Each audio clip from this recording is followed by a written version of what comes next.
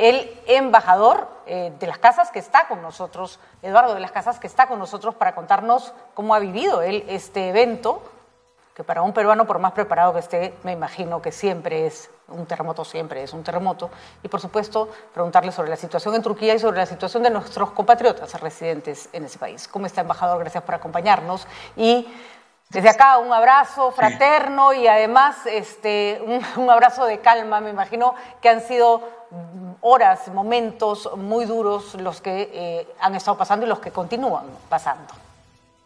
Sí, eh, muy buenas tardes, muy buenos días allá en Perú. Efectivamente, acá son tres, casi cuatro de la tarde. Eh, acá en Ankara, donde se encuentra ubicada la embajada, no hubo mayor eh, impacto ¿no? de parte del sismo se sintió, muy pocas personas lo sintieron, pero sí, obviamente, como bien ha señalado, en el sur de Turquía es la región mayormente más afectada ¿no? por, este, por estos tremendos eh, dos grandes terremotos y réplicas. En, eh, Turquía tenemos registrado 207 personas, ciudadanos peruanas y peruanos, ¿no? Eh, de los cuales eh, la mayoría, ¿no? Eh, no vive en la, en la región afectada por el terremoto, ¿no? Tenemos un número de nueve compatriotas, ¿no? Que residen normalmente en la región afectada. Ninguno de ellos se ha reportado en los contactos que hemos hecho desde el día de ayer en coordinación con la Cancillería del Perú y con nuestra sección consular, Ninguno de ellos ha manifestado haber sufrido heridas o ha indicado eh, que alguno de los compatriotas que, están ahí haya fallecido. Entonces, todos los que están registrados han sido eh, plenamente identificados y contactados. Eso es una noticia tranquilizadora, pero sin embargo eh, estamos mm, atentos y coordinando con las autoridades de desastres aquí en Turquía para eventualmente poder identificar a algún peruano que esté en estado de necesidad ¿no? que haya perdido su hogar o que haya esté necesitando algún tipo de ayuda de abrigo, ¿no? Eh, de albergue o de alimentación. ¿no? Hasta el momento no hay noticias en ese sentido, pero siempre, como usted sabe, no todos los ciudadanos se registran. Eh, podría dar una, una, estadística muy así a grosso modo, ¿no? Eh, por ejemplo, en la ciudad de Mersin, ¿no? Tenemos tres eh, eh, ciudadanas peruanas, ¿no? Que se han registrado y que no han sufrido daños. en otras ciudades eh, próximas, como de Amán, felizmente estas personas estaban de vacaciones en España. En la ciudad de Adana, ¿no? También al sur de Turquía, hay ingenieros que trabajan para transnacionales, ¿no? por ejemplo, en temas de refinería, de talar, etcétera, también están en buen estado. Y entre los que no estaban registrados hay em, dos, dos em, eh, voleibolistas, ¿no? Que juegan en equipos turcos, ¿no? Peruanas y que ya fueron contactadas y que felizmente también eh, se encuentran eh, bien de salud, ¿no? en otras ciudades tenemos una una compatriota en, la, en Sirmac y un compatriota en la ciudad de Gaziantep, también al sur, con quien hemos tenido varias conversaciones telefónicas y él ha optado por eh, abandonar el área donde, del terremoto en bus con dirección a Estambul.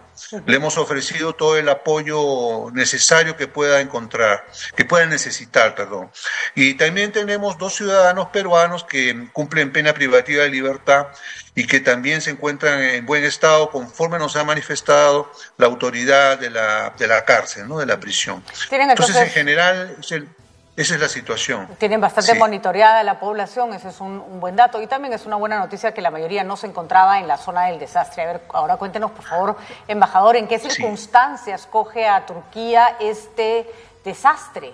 Porque es muy importante, Siria es un caso distinto y mucho más complejo, ¿no es cierto? Conocemos todo lo, lo que ocurre en Siria e incluso probablemente las cifras no nos lleguen con claridad hasta hasta sabe Dios cuándo, pero en Turquía no, Turquía se puede hacer un monitoreo mejor. Cuéntenos en qué situación económico, político, coge este terremoto a Turquía como para saber cuántas posibilidades tiene para salir adelante. Bueno, en general este país eh, al cual yo he llegado recientemente cuenta con un gran eh, desarrollo económico y social, ¿no? Entonces yo estoy seguro que sabrán eh, superar ¿no? con creces esta, esta situación de desastre, ¿no? porque es un pueblo bastante eh, fuerte, muy cohesionado y en ese sentido yo estoy totalmente seguro que, esto será solucionado de la mejor forma. Yo diría más bien que esta, esta situación tan trágica que ha afectado ¿no? a Turquía eh, nos debería dar lecciones también al Perú ¿no? en la necesidad de esforzarnos porque todo el tema de infraestructuras, etcétera, tomen en cuenta las condiciones ¿no? de, ser, de que somos un país sometidos a estas condiciones telúricas, ¿no? Este, y, y, que un sismo puede ocurrir en cualquier momento y en el caso de nuestro país el desastre podría ser igual o, mayor. Entonces, son cuestiones que debemos tomar en cuenta, yo creo. Y en el caso de Turquía, ese es un tema que obviamente las autoridades y el pueblo turco les corresponde debatir o dialogar, ¿no? En ese aspecto. Están como nosotros en zona sísmica. Es impresionante ver cómo se han venido abajo edificios completos, completos. Y no estamos hablando de, eh, construcciones precarias, estamos hablando de edificios hechos y derechos de, de, alguna manera. La ayuda internacional, es, embajador, entendemos que, por ejemplo, Rusia rápidamente reaccionó y mandó equipos de rescate y suponemos que se estarán haciendo presentes en distintos países. Perú puede ayudar en algo, finalmente conocimiento tenemos y sabemos cómo rescatar gente también, ¿no? Sí, yo creo que nuestro país también tiene esas capacidades, ¿no? Y podríamos eh, colaborar. Eso es un tema que lo tienen que evaluar eh, la Cancillería del Perú juntamente con Indestri, ¿no? Y ver en qué materia se podrían este, ofrecer esas cooperaciones. Ha habido voluntarios, ¿no? Pero que a nivel individual nos han comunicado, nos han contactado. Nos hemos derivado a la Embajada Turca en Lima, que creo que ellos están en mejores condiciones de canalizar esos apoyos individuales.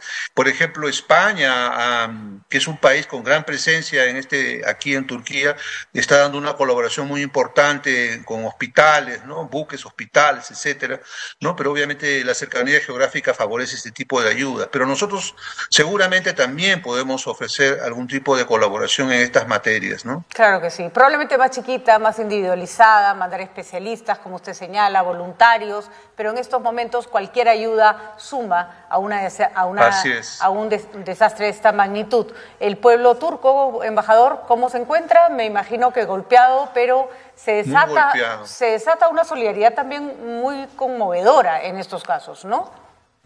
Así es, es un pueblo muy solidario, muy cohesionado y eso se manifiesta justamente en estos momentos, ¿no? De, en el que se sufre este tipo de desastres y que coloca obviamente un sentido de unidad ¿no? y de, integración a todos los ciudadanos. Eso lo puedo observar ¿no? en las calles, lo puedo observar en los medios de comunicación, etcétera.